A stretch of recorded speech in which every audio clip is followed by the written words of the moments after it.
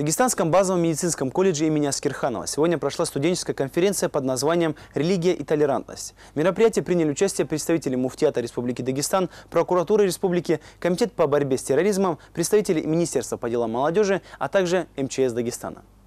В медицинском колледже имени Аскерханова подобные мероприятия проводятся ежегодно. В этом году темой конференции ввиду последних событий в мире стала религия и толерантность. Терроризм мы тоже затрагиваем, терроризм в мировом масштабе.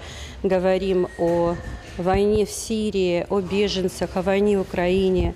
Естественно, этими мероприятиями мы стараемся э, обучить наших детей, чтобы они узнали о том, что происходит на самом деле в мире, политическая обстановка.